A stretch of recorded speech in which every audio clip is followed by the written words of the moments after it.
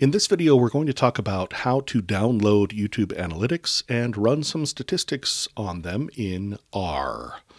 I'm here on YouTube.com, and all of this data are going to be provided to you, so don't worry about it, but I want to show you how to get data like this from YouTube.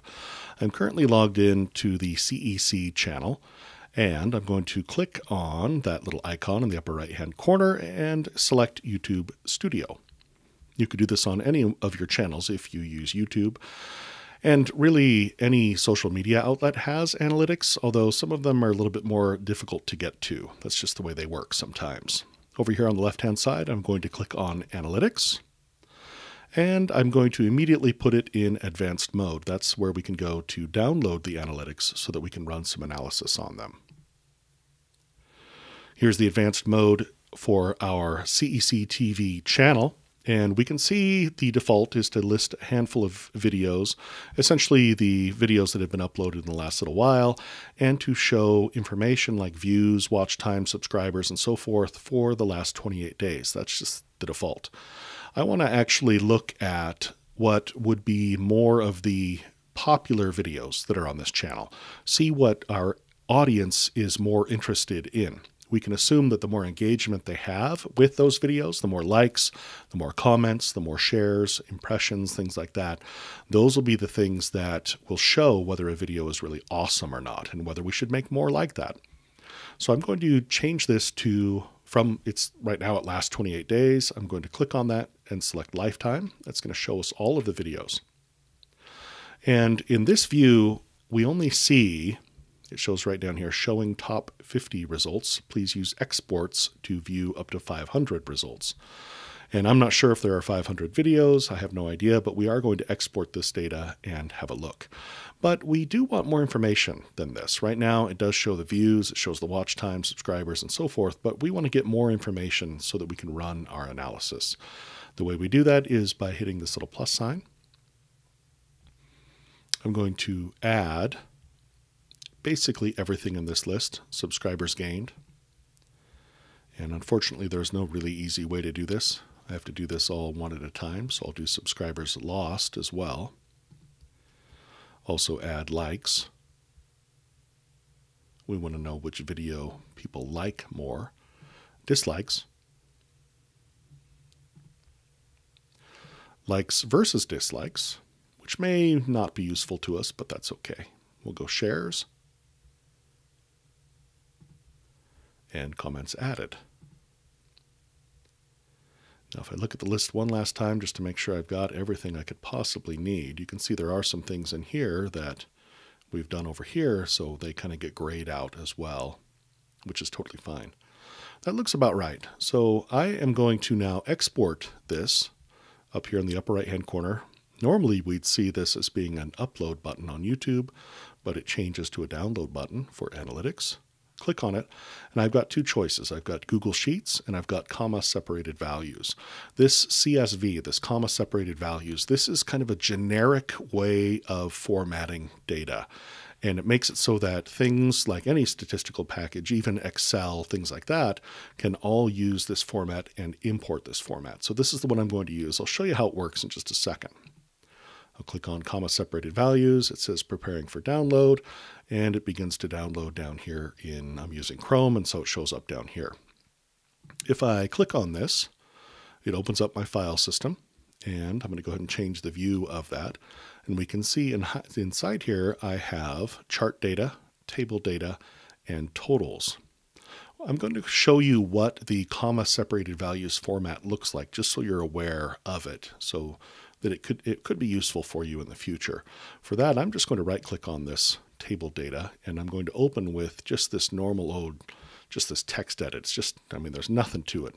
This is kind of like Notepad in Windows if that's what you use. If we look at this, I'm going to go ahead and zoom in just a little bit on this text as well. If we look at this, we can see that along the top, we have what would have been the headers for all of these fields starts with video. And then also notice that they're separated by commas. So I have video, video title, video publish time, and so forth. And then at the end of every row, I have a carriage return. Essentially, they it's like like they hit the return key. Then we can see as we go down a little bit lower, I've got this kind of jumble of weird text. That is the video ID. So every video on YouTube gets a video ID. That's the video ID. So if we look at that, that's where it says video. That's that first column. Then it says video title. We can see that this one that has this video ID is 2019 Huntsman World Senior Games Global Cup Finals. Next is the video publish time. We can see it's August 31st, 2018, and so forth. So uh, basically, what we have is we have everything separated by commas.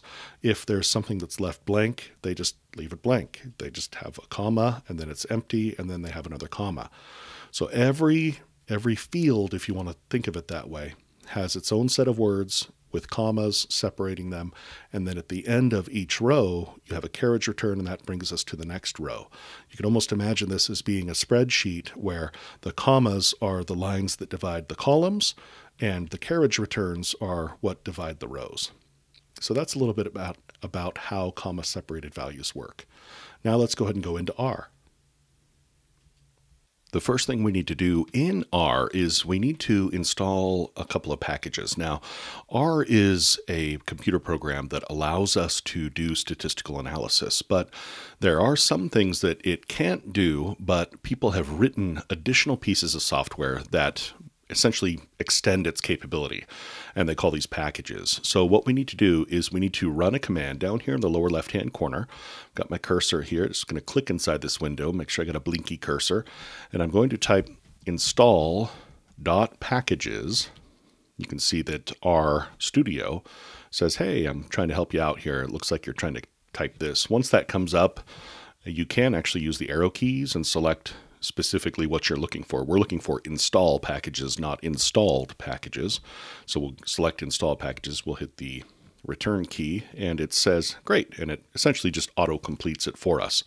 What we're looking for is we need to put in quotation marks within the parentheses the word tidy verse just like that T I D Y V E R S E.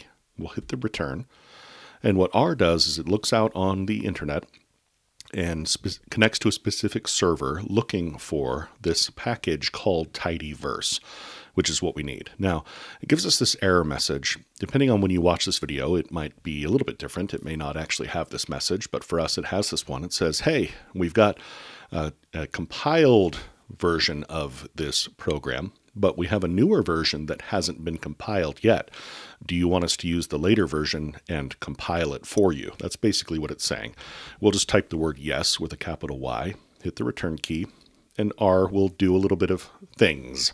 Now, depending on your system and what you've done in the past, this may take more time or less time, uh, depending on what's going on. But eventually, you're going to come up with this little character right here.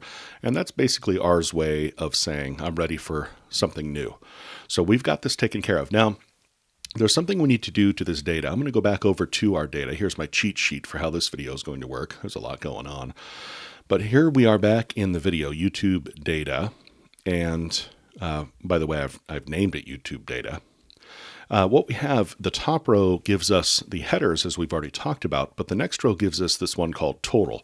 This is going to throw off our statistical analysis if we leave it here. So I'm going to select this whole row and just delete it out. And then I'm going to delete that extra line as well so that I just end up like that. Now, I don't want to delete too much. I just want to delete the, the one row and the extra line. Now, down at the bottom, if we scroll all the way down, there's a final row that says showing top 500 results. This also is something we don't need. And so we are going to get rid of this. We'll just select that whole line, delete it, and then delete that final row, making sure that we don't delete the extra comma that's down here. I'm going to go ahead and just hit my save button, my shortcut, Command S uh, on the Mac. And now there's something else. When we go to import this data, there are two specific characters that appear in this data set that R has a hard time with. And that's the pound sign, or the number sign, or the hashtag, whatever you want to call it, and then the apostrophe as well, the single quote. So we need to get rid of these. Now, I'm just going to do a quick find. The shortcut for me is Command F. On your system, it might be something different. And I'm just going to type the hashtag or the number sign, the pound sign, the uh, octothorpe, whatever you want to call it, this symbol here. And you can see that we do have three instances of this symbol in our data. We need to get rid of that. So for me, I'm going to just type or click this replace button. It depends on your text editing system for how you're going to do this. You might just have to do it by hand. It's up to you. But I'm going to take this and replace it just with nothing. I'm just essentially just going to delete all instances of this pound sign character, all three instances. For me, I'll just click all and then we also want to do the same thing with the apostrophe, the single quote. You can see as soon as I do this, I end up with about 16 or so instances of this character. And if I leave it in there, then R is going to have a hard time importing this data. So again, I'm just going to essentially delete it by hitting my replace, and I'll replace all of them. I'll save that now, and now I can import this into R. Uh, what I need to do now, now the, the way this works is we're going to import the data and we're going to give a reference to that data. We're just going to call it something. This is kind of like giving it a file name within R. So I'm just going to type the, the characters that spell out CEC data, just like that. And then I'm just going to type the equal sign because I, I'm essentially saying it's not like a math thing where this is equal to something. Essentially, I'm just giving whatever I'm loading here in a second, I'm just giving it a name so that I can refer to it in R. Now I'm just going to take my cheat sheet over here, and I'm just going to copy this, and I'm going to explain what it does in just a second. Let me get rid of this extra equal sign that I put in here. All right, so I'm giving this thing I'm about to load a name called CEC data, and then I'm giving R a command, and the command is called read.csv. CSV is for comma separated values, like we've talked about. And then I'm basically in the parentheses going to tell R the, the thing I want it to load. So inside the parentheses, I do couple of sets of quotes, one at the beginning, one at the end.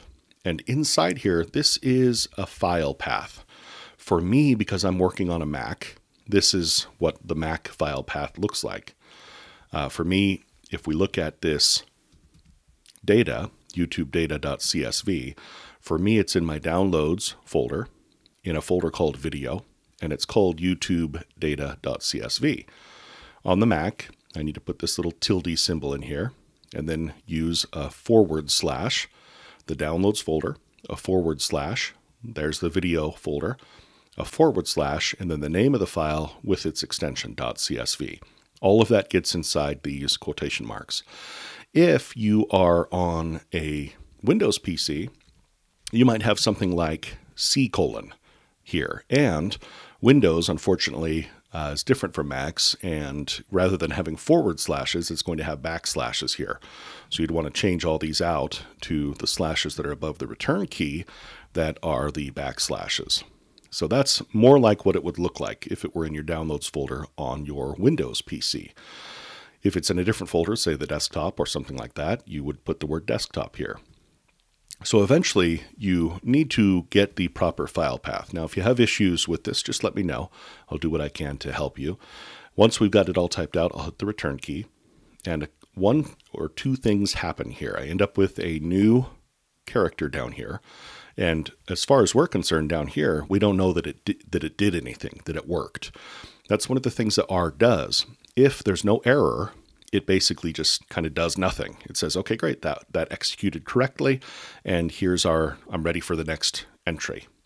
If we look up here in the upper right hand corner, though, in the environment tab, we see now we have a thing called data, and it says CEC data, 500 observations of 15 variables.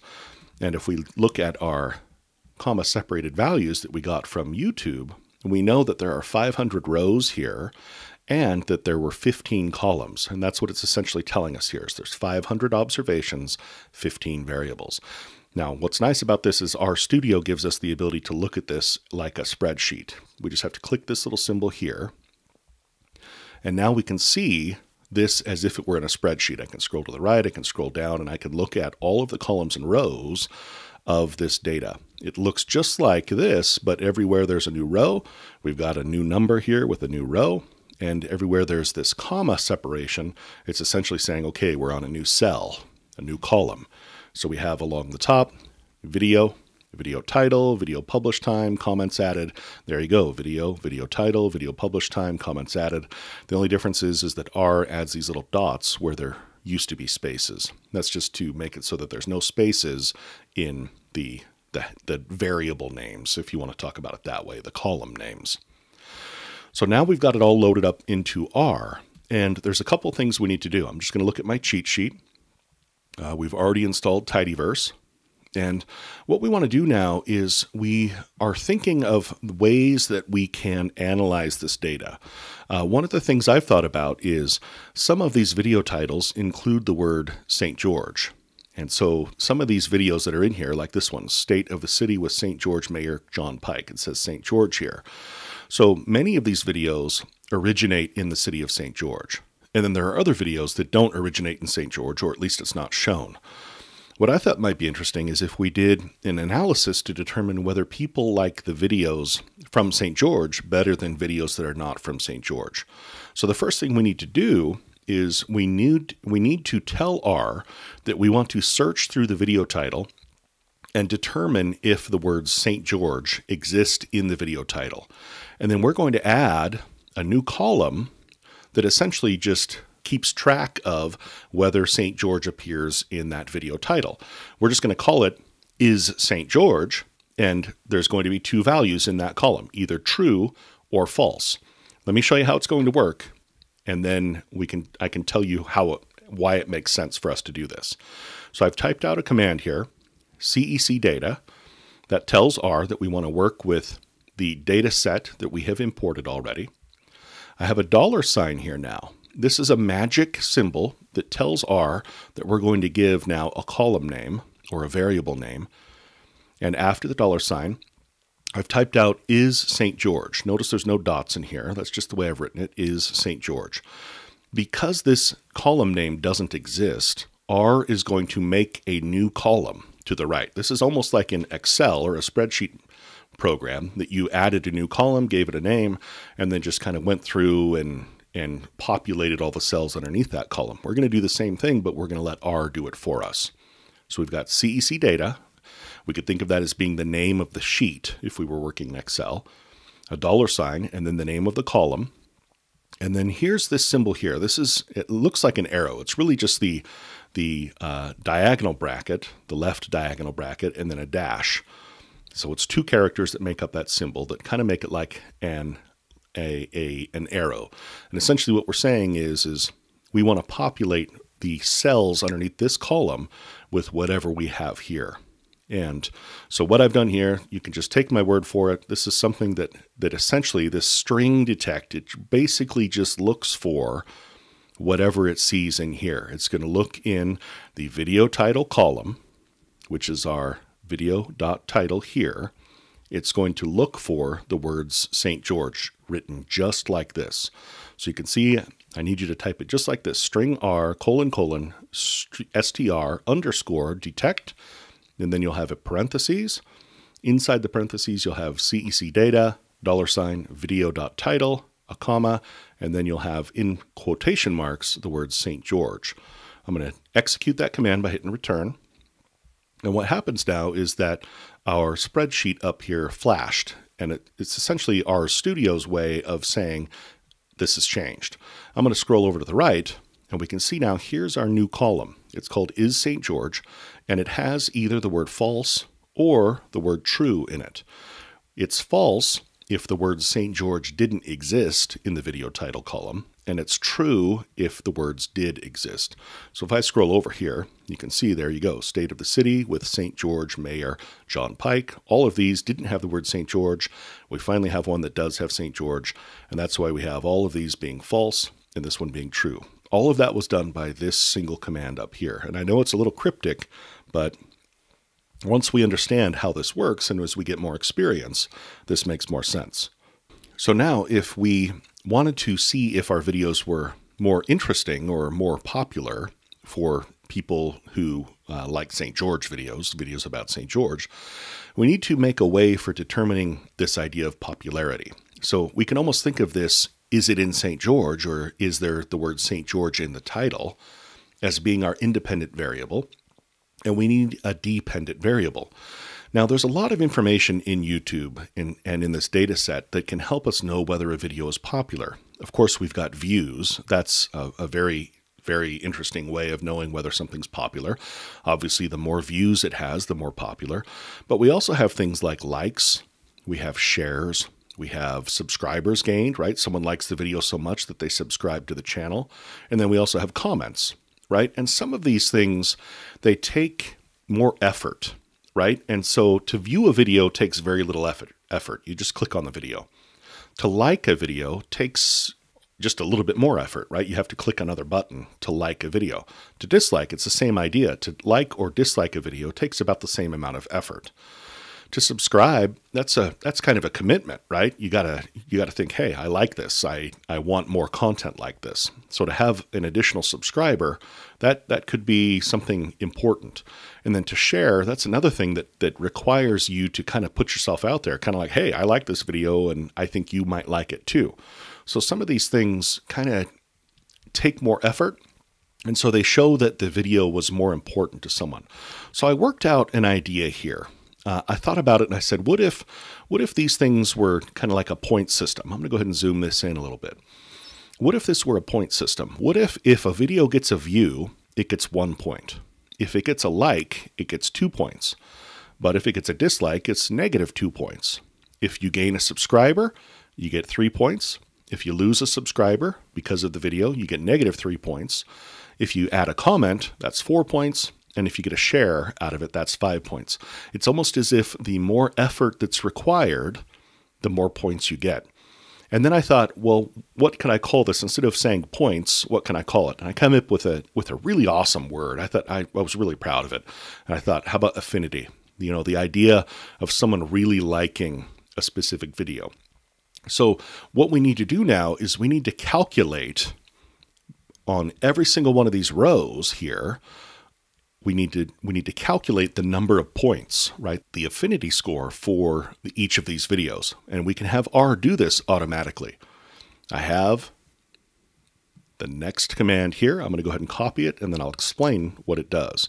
I'll copy this and paste it into R. So what we have here now, same thing like we did up here. We're going to do the CEC data set. We're going to put the dollar sign here and have a row or a column called affinity. This is an, a, a column that doesn't exist, so it's going to add it. Inside that, for each row, we want to run a calculation. We want to take, again, each of these is just the CEC data it has a dollar sign for the number of, for the column name. So you can imagine just the column name here is the important bit, but we do need to type it all out.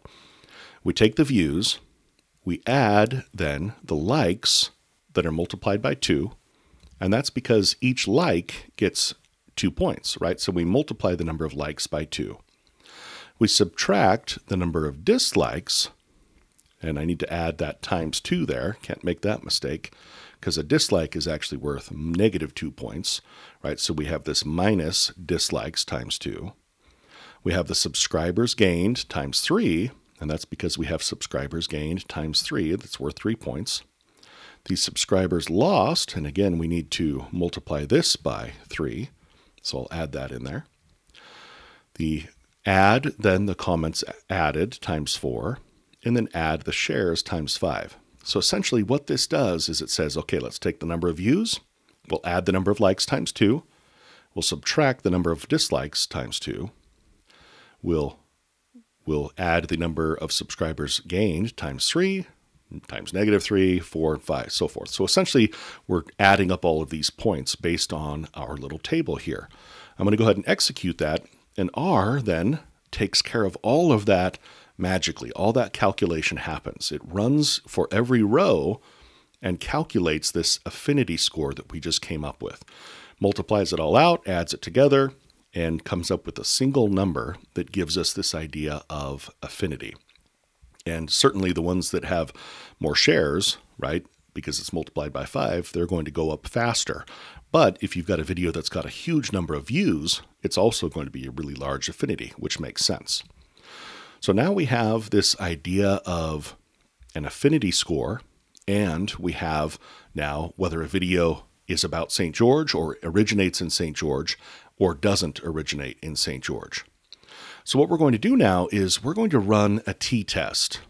Now, if you don't know what a t test is, we can talk about it, leave a comment, I can help you out or let me know. But for R, we're just going to type t.test.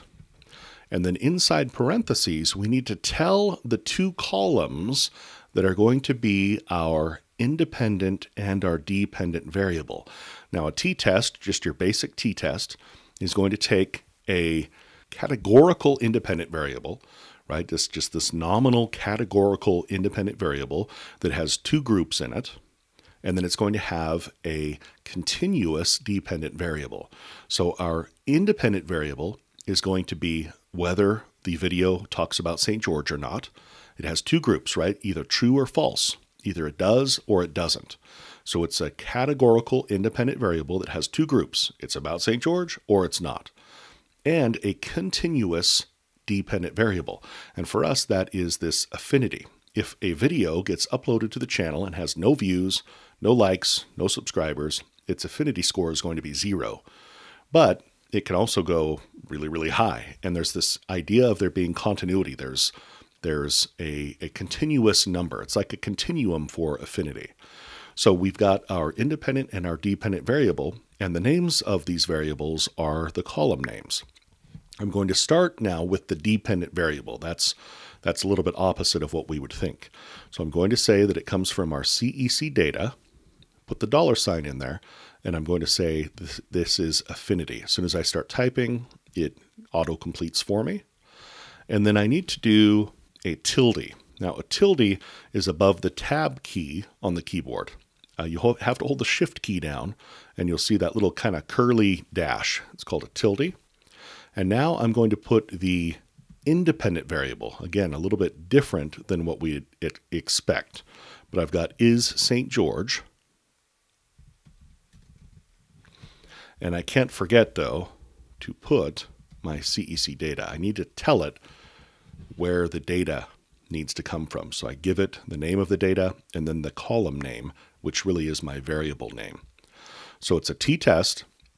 The dependent variable goes first, the row, or I should say the column, then a tilde, and then the column for the independent variable. And I'll hit the return key. It runs my t-test and gives me information. Now, the important information here, as far as we're concerned, is this p-value. And we've talked about p values in the past. For purposes of media research, we want our p value to be less than 0.05 if the test was significant, meaning there was a significant difference between the videos that were from St. George and the videos that were not from St. George. In this case, the p value is 0.7, which is clearly greater than 0.05. So, what this means is there is not a significant difference between videos that have St. George in the title and those that don't in terms of their affinity score, which we calculated based on our, our score that we talked about. So that's one way of saying if someone says, well, are the videos that are about St. George, are they more popular?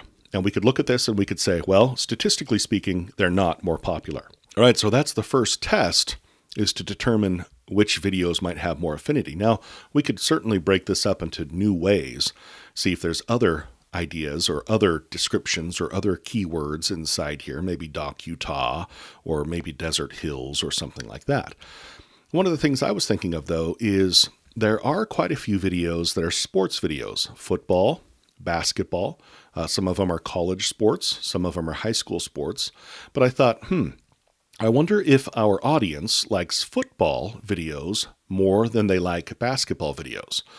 So, what we need to do now is we need to say, okay, how can we get this into uh, a way of us grouping this into two groups?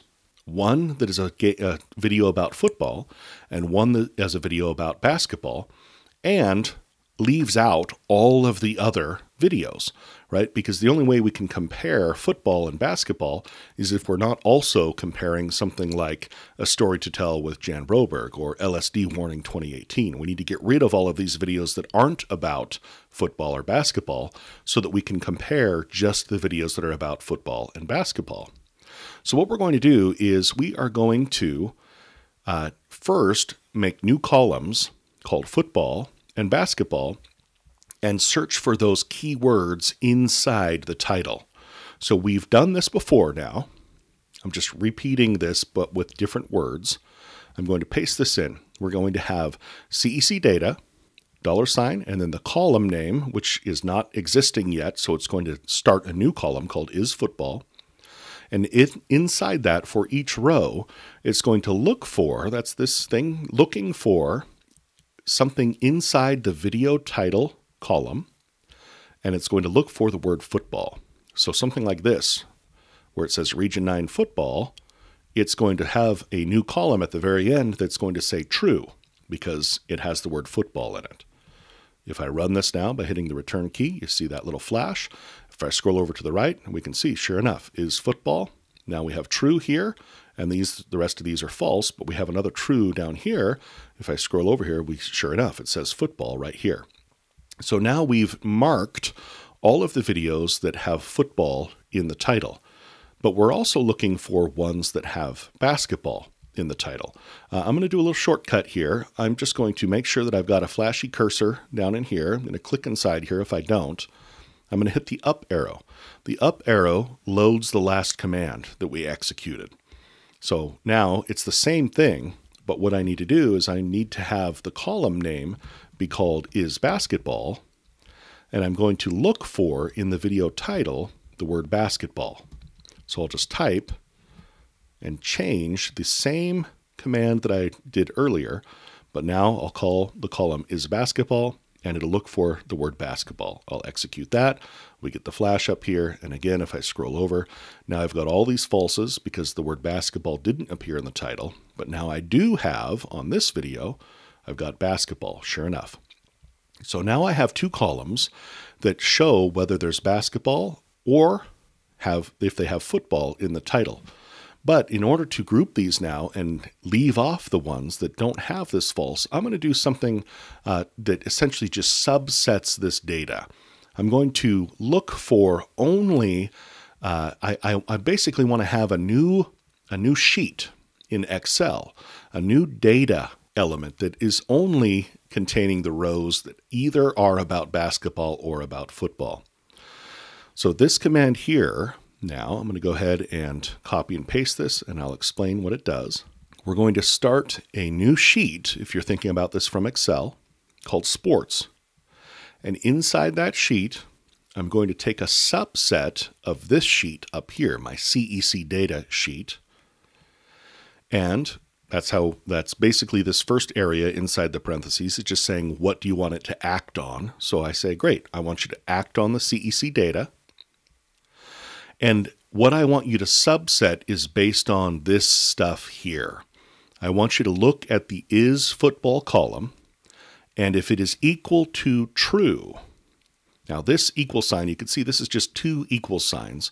This is just R's syntax for looking for equality, right? If if within the column the word equals true, then it's going to add it to this sports sheet. It's going to add that whole row. Notice we got to use two equal signs here. If we don't use two equal signs, if we only use one, then it's going to change all of the rows to true, and we don't want that to happen. Now that's looking for the is football. But we also want to look for is basketball, if is basketball is true. So either one or the other. And this pipe symbol right here is just a magic symbol for the word or. So the pipe symbol is just above the return key. It exists with the backslash. We need to hold the shift key down to use it. So we've essentially said within the CEC data, the is football column, if it equals true, or if in the CEC data, the is basketball column, that one equals true, add it to the subset that we're going to call sports. So I'll execute that command. You can see now we have a new data element. It's almost like a new sheet in Excel called sports. Notice also it says 47 observations of 19 variables. It has the same number of variables, the same number of columns, that's good, but it only has 47 rows now instead of 500. It's because only 47 of the rows had either basketball or football in the title. If we want to view it, I can click on its little symbol here. We can see every single one of these now should have either the word football or basketball inside the title, and sure enough, they do. So now we have a subset of data that is only videos about football and basketball. Now we can do the exact same thing we did before where we, where we ran a t-test.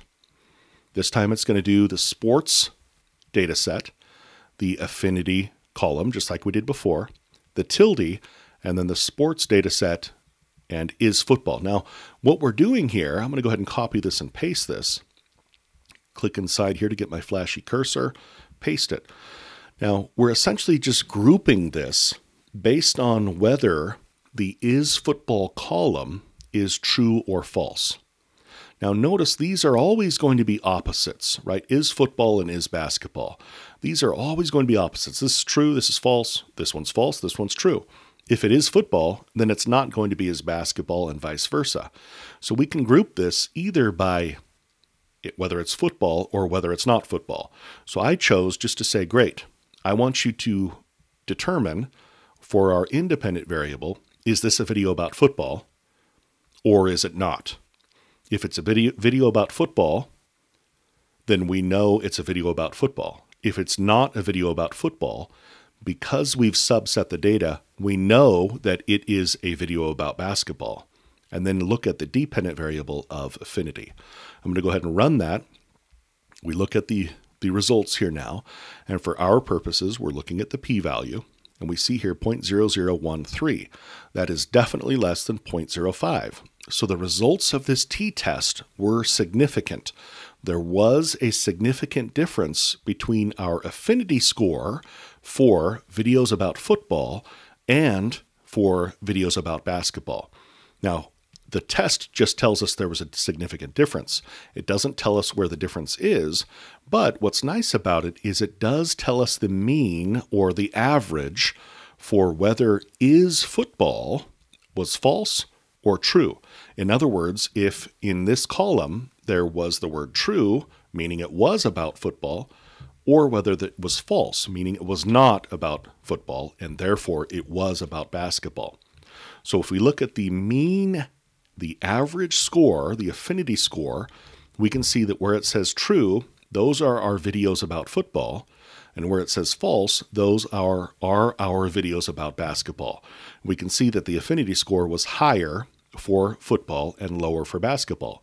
So this tells us that of the, the videos that are about football and comparing them to the videos about basketball, the audience preferred or had an affinity for those that were about football. And that was a significant difference, meaning statistically speaking, the audience prefers videos about football when compared to videos about basketball. That's what we can see in this. So if our managers were looking at this and saying, do people like football better than basketball? We could say yes, they do. They prefer it. Uh, the test was significant, and the mean score for videos about football was higher. This could be good for management decisions if the if the station says, "Hey, should we should we cut out we need to cut out sports, should we cut out our coverage of basketball or should we cover cut out our coverage of football?" We can look at this, run the test and say, "Oh, we should not cut out our coverage of football because people prefer it over basketball." So that's one way to subset the data and run a t-test based on only videos that have specific keywords inside of here. Now, as I look at my cheat sheet, maybe we want to know if as time goes on, is the channel getting more affinity, right? Are, are people engaging with the channel more? Are we growing an audience? When we look at some of these numbers, we might look at it and say, okay, well, yeah, we're growing an audience because we've got more comments and shares as time goes on, right? And you might see a trend, but it might be nice for us to visualize that trend and determine whether we're significantly increasing in our audience. So what we can do is we can say, okay, well, when did the channel start? When was our first video uploaded to this channel? If I scroll over. Now, actually, I'm going to go to my CEC data. I don't want to look at just the basketball and football. So I'm going to go ahead and click on my symbol here. That's going to load now our CEC data into this, into this viewer. And if I look at the video publish time, this gives me the date that the videos were uploaded to YouTube. So essentially, I could look at the first video that was uploaded all the way up to the most recent video that was uploaded. I'm going to order this the same way we would in other, any other spreadsheet program. I'm just going to click on this.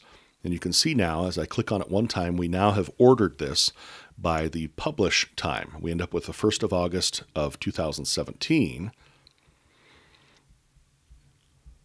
But there's a problem. Hmm. Look, it's ordering by the day. 1, 10. Obviously, this is not right, right? April of 2019 is not before August of 2017. So the problem is is that we have the day first, obviously. So we need to reformat this and put it so that it's orderable for us. What we're going to do is we're going to use this right here. This is a command for us to put the date format in not only a standard date format, but also in something that's orderable. So let me explain what I'm going to do. I'm just going to copy this over here, click my mouse cursor inside here, and paste it. What we're going to do is we're going to start a new column called date reformatted. And within each of the cells of that, we're going to format a date. And the date format for this is going to come from the video.publish time, which of course is this column right here. But we need to tell it the format that this each of the cells in here has as its format. Now this looks a little crazy. I totally get it. Just trust me on this one. What this is doing, the percentage symbol and then the letter is just telling us which one's a day, which one's a month, and which one's a year. This first one, percent %D, that means that the first characters in here are the day of the month. The dash here tells us that we're going to see a dash. This percent B, I know B is not short for month, but what this is saying is that this is an abbreviated version of the month. So that B, I think, is just a way of saying abbreviated, who knows? But it's an abbreviated version of the month. Then we're going to have a dash, which we do, and then we're going to have the year. Now, the year right here with a capital Y is actually going to look for a four digit year. And you can tell these are not four digit years, these are two digit years. So I'm going to change that to a lowercase y, and we're going to run that. Everything seems to be fine. I'm going to go ahead now. I didn't see a flash up here, and sometimes that'll happen when we have multiple data sets. I want to make sure that this reloaded the data, so I'm just going to click on my viewer here, CEC data, that's going to reload this data. If I scroll over to the right now, I can see I do indeed have this date reformatted, just like we asked it to do.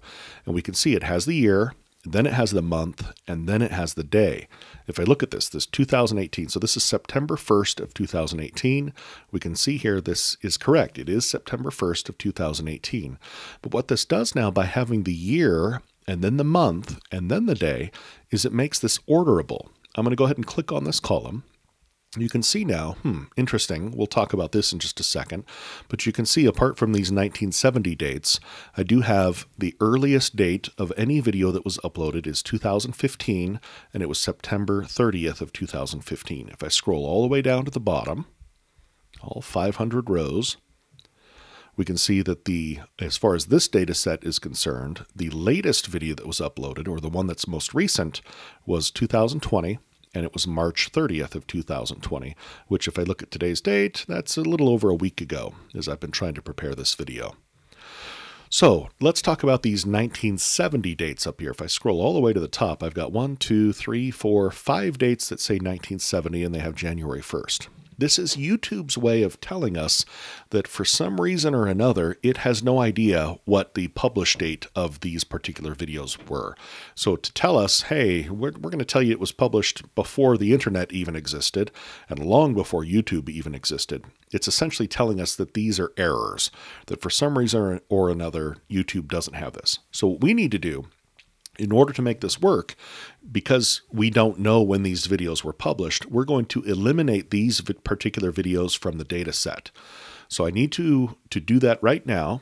Uh, I've got one, two, three, four, five of them that need to be eliminated. I'm going to go now and look at this first column. These are the IDs for, or the, the row name for these first five videos. I've got these five numbers now that, that identify the first five rows.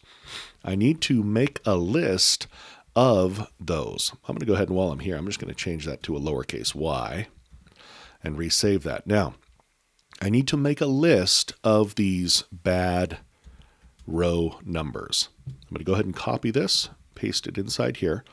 You can see it's almost like I've done this before, right? 313, 349, 403, 436, 484, and it looks like I've got one too many, so I'll go ahead and just delete this last one here. And let me explain what this does now. So what I'm going to do is create a list. This is just essentially just a, a new sheet, right? A new data sheet that just has just a list of numbers. That's all it is. So it has one row. Uh, the C, we're going to ignore it for now. You just need to have the letter C, no big deal. And I'm just going to list these row numbers that are bad row numbers, separated by commas and within quotation marks. I've got one, two, three, four, five, and it's those five that have that 1970 date. Now I'm going to execute this command and it doesn't actually remove those rows. All I've done is create a list of the ones I want to be deleted. I'm going to use now a new command that I'm going to copy from here. Copy it and what we're going to do now is we're going to uh, take our CEC data and re-mess with some stuff and just store what we've remessed with back into the same sheet. So this is kind of funky syntax. It may not make a lot of sense. I'm going to explain it really briefly. Just trust me on this one. We're going to take the CEC data. We're going to uh, have all of the rows that exist except for the ones that are in our list that we want removed. So essentially it's going to take all of them except for the ones that are here and it's going to store it back inside that sheet called CEC data. I don't know, that ex explanation didn't work too well, but that's what we're going to do. I'm going to execute it really quick. I'm going to go ahead and reload it by clicking here. And we can see now if I reorder this by hitting my date formatted, we have uh, our 2015 September 30th being the first one. We no longer have those 1970 dates.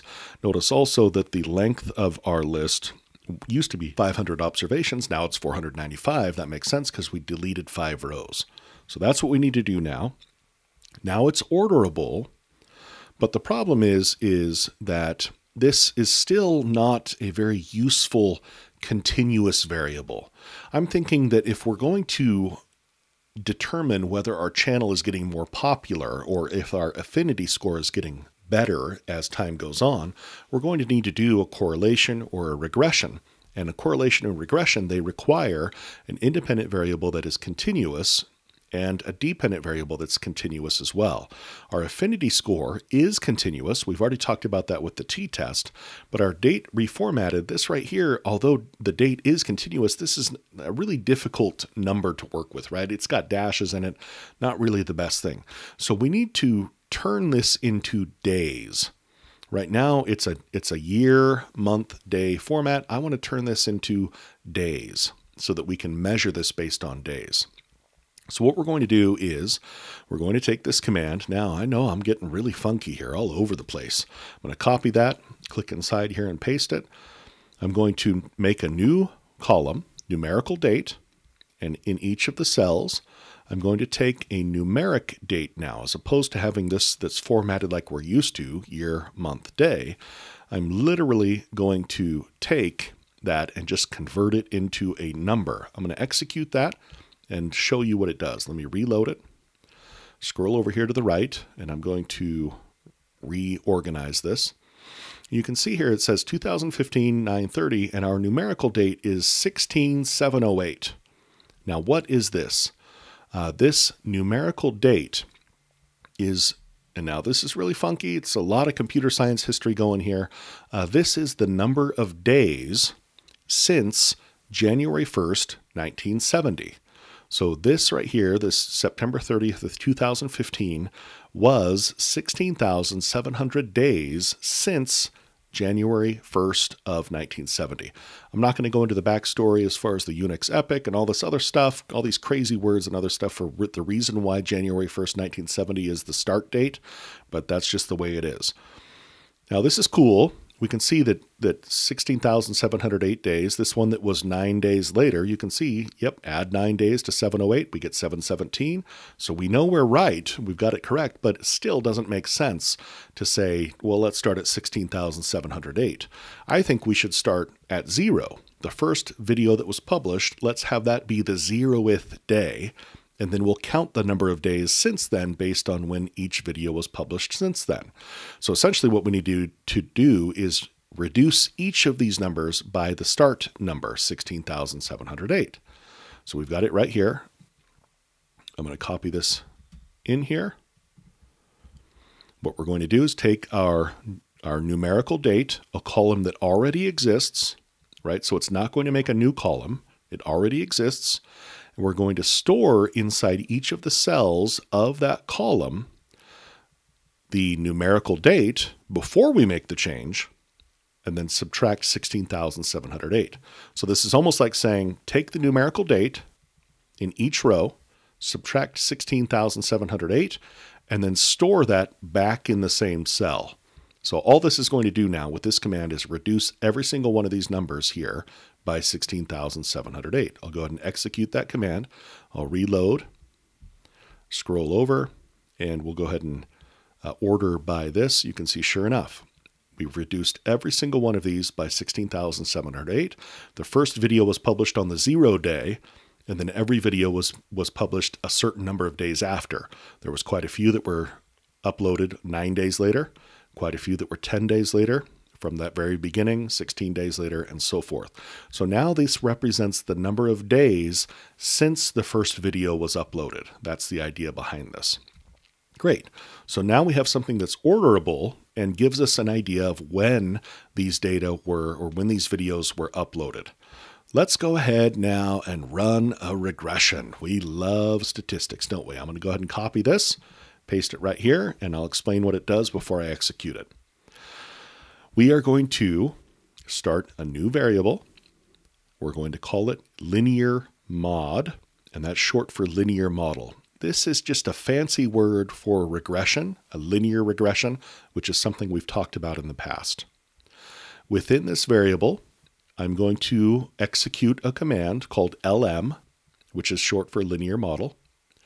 It's going to take as one of its variables the affinity, and it's going to also take the numerical date from the CEC data data. All this is doing is it's running a regression using affinity and numerical date as the two variables. The numerical date for us will be the independent variable, and the affinity score is going to be the dependent variable. I'll go ahead and run that.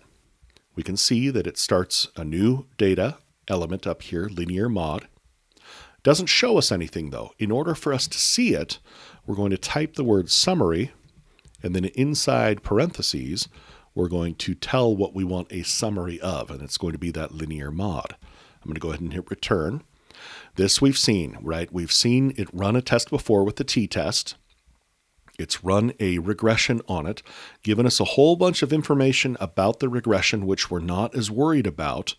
But what we are worried about is we want to see the p-value. The p-value is all the way down here. You can see right here it's 0.1908. This is greater than 0.05. What this is telling us is, is that there is not a significant movement between time and our affinity score. In other words, as time increases, the number of days increases, our affinity score is not increasing in a linear manner. It's not going up in a linear manner. That's okay. We are not necessarily wanting it to be linear in, in the way it goes up. We just want it to increase. So, okay, the test isn't significant. Does this tell us it's not increasing? Well, let's go ahead and visualize it. We can visualize it by running what's called a scatter plot. A scatter plot is essentially just an XY coordinate system that plots, in our case, the numerical date on the x axis and affinity on the y axis. On the x axis, the numerical date, time will go on, and on the y axis, our affinity score will go. So let's go ahead and run this. We can see over here in the lower right hand corner now our numerical date on the x axis and our affinity on the y axis. These are all the plots of every single one of the videos.